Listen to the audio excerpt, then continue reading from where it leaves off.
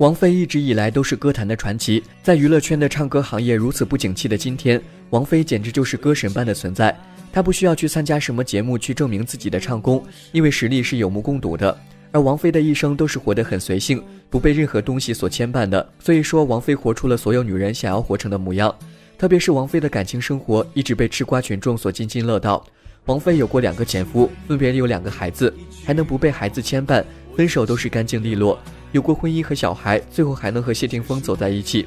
要知道，这两个人算是跨时间的恋爱了，两人各自有各自的感情生活，现在还能在一起，真的算是非常的戏剧性。虽然两人都很低调，但还是会被网友们看出他们也会有时不时的秀恩爱。在一次对李嫣的采访中，记者问最近一次见到王菲和谢霆锋在一起是什么时候，李嫣不假思索地脱口而出：“我每天都见。”这句话无不暴露了王菲和谢霆锋现在的关系。